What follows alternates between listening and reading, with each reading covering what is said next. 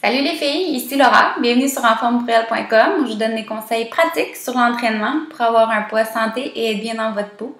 Donc euh, aujourd'hui, je vous parle encore d'un concept que je parle beaucoup, euh, mais je réalise que c'est pas tout le monde qui est capable de l'appliquer nécessairement. Donc je pense que de n'en reparler, des fois, je vais ajouter des choses euh, que j'ai pas dit les dernières fois parce que pour moi, dans ma tête, c'est quand même assez évident parce que ça fait longtemps que je travaille sur ça. Donc, euh, c'est vraiment au niveau des portions alimentaires. Euh, euh, c'est très vague parce que les portions, ça peut, ben, ça diffère, ça diffère d'un nutriment à l'autre, c'est-à-dire des glucides, des gras, etc. Donc, on a comme un peu un, un terme dans les dernières, dernières années que les glucides, c'est vraiment pas bon pour la santé, que c'est pas bon pour la perte de poids. Donc, on limite beaucoup les glucides. Euh, moi, la première, je l'ai faite. J'ai fait ma part de, diminuer les glucides.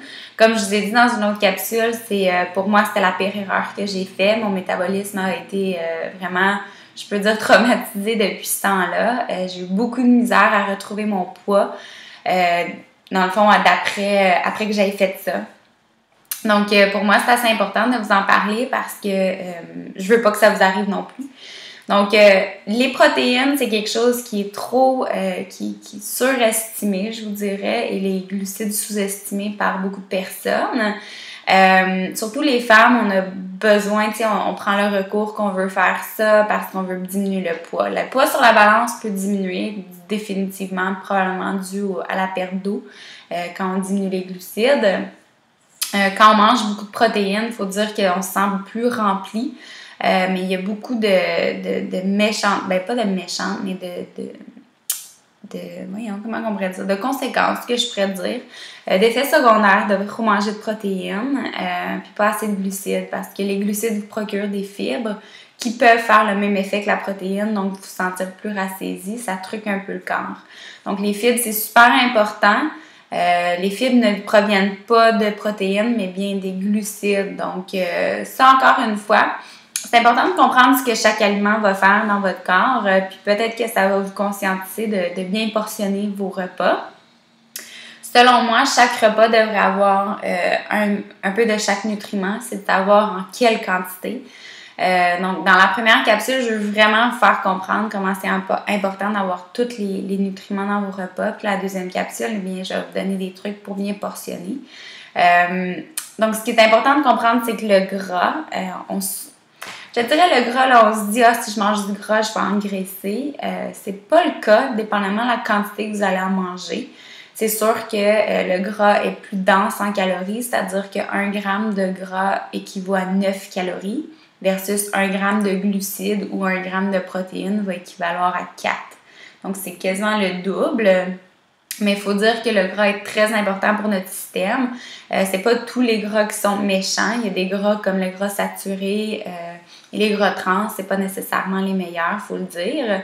Mais il y a beaucoup de gras non euh, mono, monohydrates, mono insaturés, tout ce qui est insaturé. Donc, poly aussi, sont très très bons pour la santé. Ils sont même essentiels à avoir un bon, un bon fonctionnement du système. Donc, tu peux retrouver ça dans les noix. Euh, les poissons. Donc, il faut, faut pas oublier que les noix, par exemple, la portion est très importante. Euh, puisque justement c'est très facile de déborder au niveau des calories. Si vous regardez, là, je vais vous donner un truc, là, mais une amande, c'est 7 calories. C'est quoi les chances que quand on prend une poignée d'amandes, euh, c'est beaucoup plus qu'une quantité désirée? Moi, quand je mange des amandes, j'en mange 10. Ça veut dire que j'ai 70 calories juste là. Euh, mais je l'ajoute à mon repas. Une façon facile d'ajouter du gras à tes repas, euh, d'ajouter des amandes.